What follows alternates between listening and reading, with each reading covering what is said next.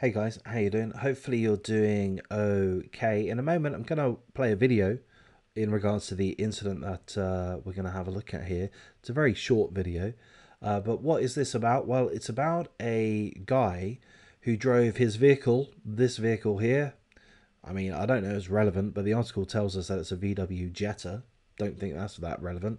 But anyhow, this guy here, his name is Sean Flaherty uh, Sean Flaherty, Flaherty, I'm not sure, however you want to pronounce that, 46 years of age, thought it would be a really good idea to drive straight into a shop, a Trump store, a store which sells Trump related, perhaps MAGA related, Republican related, conservative related, right wing politics related paraphernalia memorabilia, this kind of thing. So we see the kind of thing here.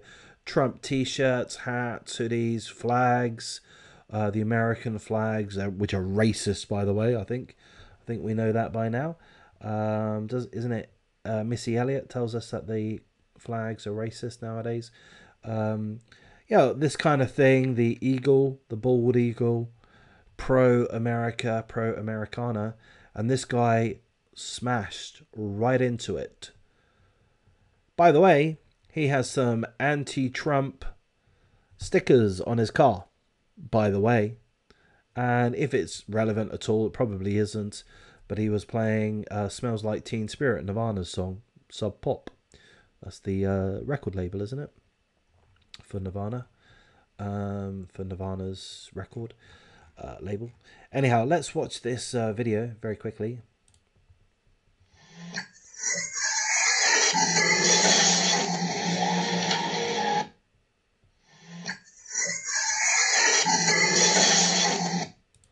Yeah, I can confirm that is uh, smells like Teen Spirit playing. Uh, yeah, that's what happened. This poor guy, he must have, pardon me, shat his pants. I would have. Um, fucking hell, so lucky that nobody was there. There was only one person working at the shop. I think it said. We'll double check that in a second. Uh, by the way, the Daily Mail page for videos.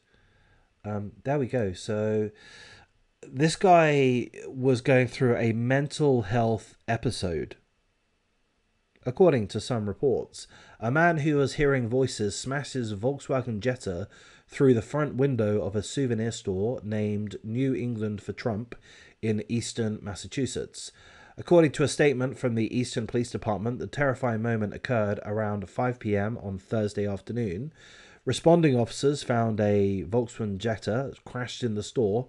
Well, well done for finding that. Wouldn't it be too fucking difficult? Uh, responding officers, oh bloody blah. In the video, we can see that the uh, culprit is a fan of the Nirvana song "Smells Like Teen Spirit." Uh, here's the scumbag Sean Flaherty, 46, of Raynham, Massachusetts. His friends insist the stunt was a result of a mental health crisis and not a hatred of the former president Trump, um, despite having an anti Trump sticker on the rear fender of his car.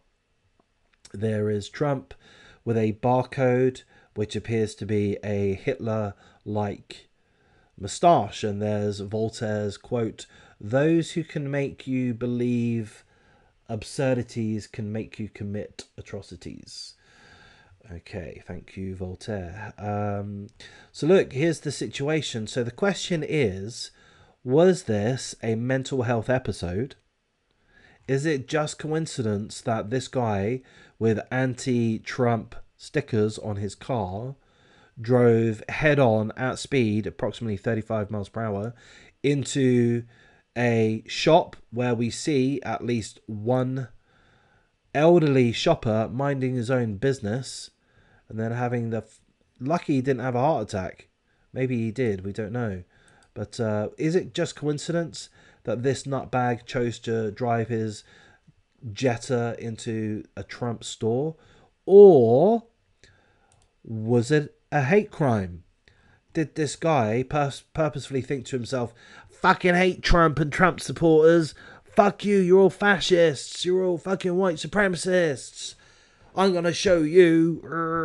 I'm gonna smash my car into your store. Is that what he thought? Is that what is that what you were thinking, Sean? You think you're a big tough guy by driving your car into a store? Is that is that how you fight fascism? Is it? so there we go.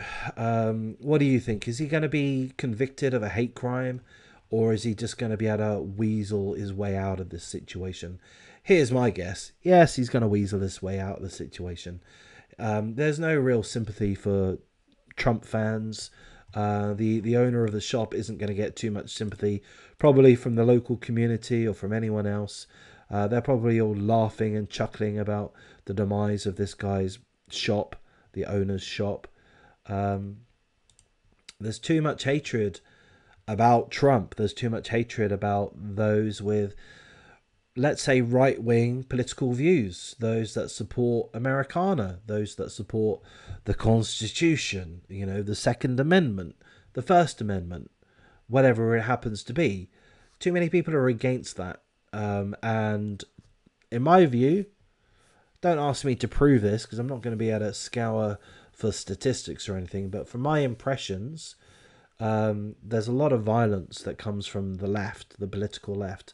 By the way, I don't write, I like getting political on this channel because there's a good chance that you guys like my videos and, and are happy to support me, but will get offended by my political views, and I don't want that to happen. Um, but uh, there, there we go. I've spilled my beans.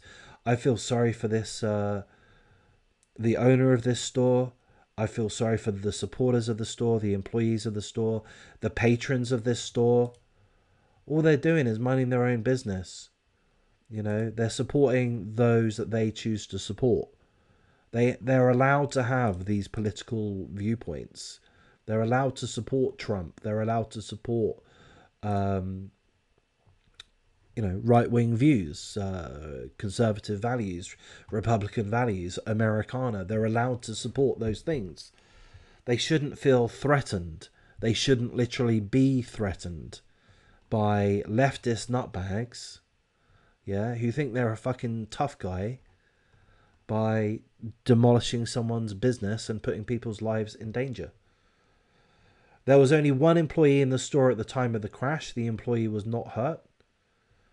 Um, I don't know if this guy, maybe this guy is the employee. I don't know. I mean, I guess not. He's too probably a little bit too old to be the employee. No offense.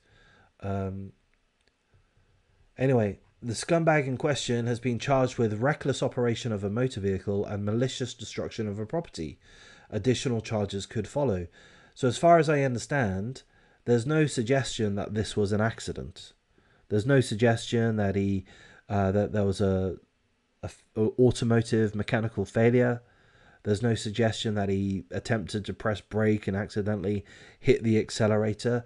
Seemingly, from my interpretation of what the article is saying, um, seemingly he did this knowingly and purposefully. So it's just a matter of whether or not uh, he. Hang on, yeah, here's the bit I want to highlight. Uh, it's it's just a matter of whether or not he um, chose this Trump store uh, because it is Trump. It is a Trump store, or is it? Did it just happen to be he wanted to crash into any old store? He wanted to crash into any old store, and that's what he did. I mean, I don't buy it. Here's my theory. Yes, it was a hate crime. Yes, frankly, it was a hate crime. I think the guy did what he did, did what he could to see that there was nobody in this shop or in this area of the shop. And then he decided to crash into it because he saw it from the outside. He saw this and he got incensed. He got so fucking angry, so incensed that he drove right through it. I'm going to throw another thing out here, a bit random perhaps. But why the fuck do these shops look? This is like a car parking area by the look of it. Why do they? Why don't they put bollards in front of their windows. Come on, guys. I mean, look, anyone could drive right into that. Shouldn't you just put a bollard there to stop them from doing that? Anyway, there's that video there. It's a little bit pointless, but uh, it's a little bit pointless because do we care about those people that attack Trump supporters? I mean, a lot of people don't. I mean, I do, but, you know, thankfully nobody was hurt. Hopefully this um, shop will return um, and will continue to do well. And uh, I guess that's that really. I'll thank you for your time.